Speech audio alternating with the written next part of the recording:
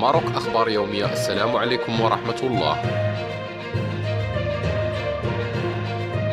مرحبا بكم مشاهدينا الكرام. سعيد بلقياكم في نشرة الأخبار هاته وهذا أبرز عنوانها. مؤلم جدا صرخة سيدة مغربية بعد أن أقصيت من القفة الرمضانية.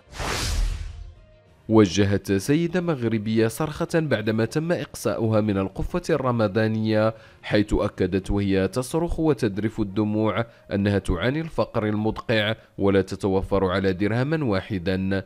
ومن جانبهما فقد أكد النشطاء أن قفة رمضان تعرف مظاهر الفساد والزبونية والمحسوبية وأن بعض المناطق توزع هذه القفة بطريقة مريبة على من لا يستحقها. حيث طالبوا بفتح تحقيق شفاف ومحاسبة كل من تورط في هذه الفضيحة.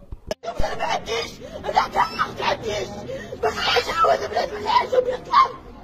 عاودهم باش عاودهم تطلع ما عنديش ما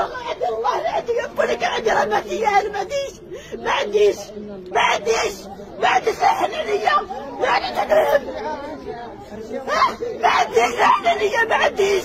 واش نطلب وعاش الملك وعاش الملك وعاش الملك. اشرف اجا ماشي مشكل له هادشي في فيسبوك ماشي لا أخويا أنا وحياة راسي ما عنديش ما ناكل ما عنديش.